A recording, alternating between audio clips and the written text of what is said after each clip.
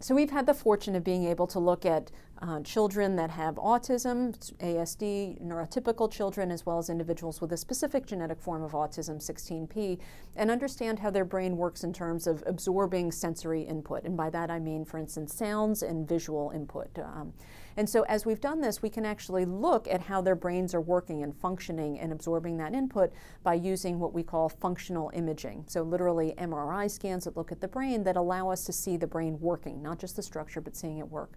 When we do that and we either give uh, input from hearing, so a sound tone, for instance, or visual input uh, by flashing a picture, we can see that those individuals, both with autism and with the specific form of autism, 16P, have a delay in how quickly their brain actually registers that input. So there's a delay in terms of being able to get that signal, having the corresponding part of the brain light up, and receiving that input. It's more complicated than that. It's not simply a problem with reception, but there are likely downstream problems or secondary problems after that, processing the information, responding to that information. But at a very, very fundamental level, there's a problem in terms of receiving that signal and receiving that input.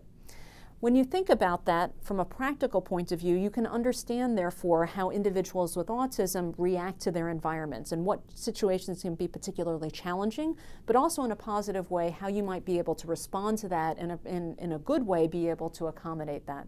So you can imagine there are some children with autism that when they get into particularly crowded rooms, crowded classrooms, at the shopping mall, um, they're getting a lot of sensory input. They're getting a lot of a lot of screaming in the background, a lot of things going on. It can seem rather chaotic to someone who you can imagine things are going in, signals are coming in, and they're kind of colliding and getting jumbled on top of each other. And it can be quite confusing for that individual. So sometimes you see with kids with autism, they'll just shut down. They're literally, they'll put their hands over their ears, um, they'll run away, they'll, you know, sort of clutch onto their mother's skirt and try and hide, but it's too much. They get overwhelmed by that and they don't know how to react, and it ends up being confusing.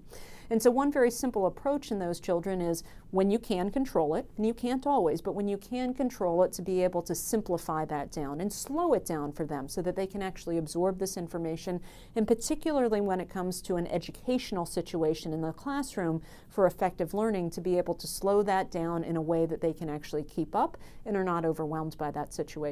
So that they've got time to be able to get that input, register that in their brain, process it, go through, and then move on. Rather than just rapid fire one after another, they can actually absorb all that information, not feel overwhelmed, not feel anxious by whatever that, that overwhelming stimulation is, and actually productively react to it and, and move on from that situation.